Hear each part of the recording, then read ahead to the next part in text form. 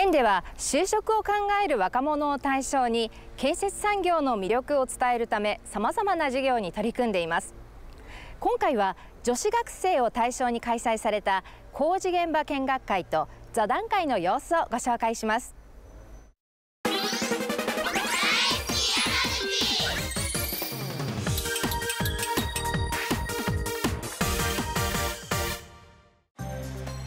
今回開催された工事現場見学会と座談会。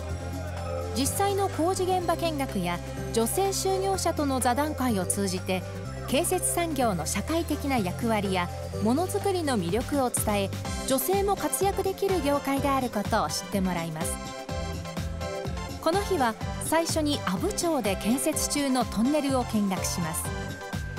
参加した42人の学生にとって建設現場を間近で見ることは貴重な体験です。建設現場見学会の後は実際に建設産業で働いている女性就業者との座談会が行われました。そういうちょっとした体調不良とかでも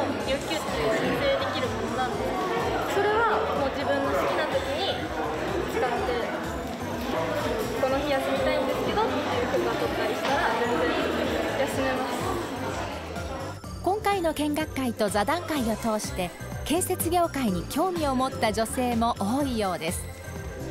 この日参加した学生に話を聞いてみました。実際に建設現場を見てスケールの大きさに圧倒されました。私は建設業に進もうと思っています。今日の建設小町を通して建設業の魅力をより感じることができ将来がとても楽しみになりました。今日は座談会で実際に働いている女性と話してよかったです。実際に働いていないとわからないことなどいろいろなことを聞くことができたのですごく参考になりました。これからの将来のことをもっとしっかりと真剣に考えてみたいと思います。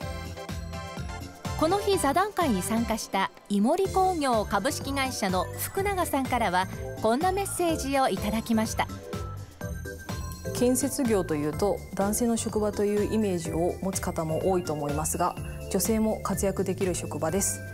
大勢の女性にものづくりの楽しさや魅力を感じてもらい私たちの仲間になって建設業界で活躍してほしいと思います。建設企業の情報や企業説明会の開催情報は山口仕事センターのホームページで随時紹介しています。ぜひご活用ください。建設産業は女性も活躍できる職場です。皆さんのやる気を建設業界で試してみませんか？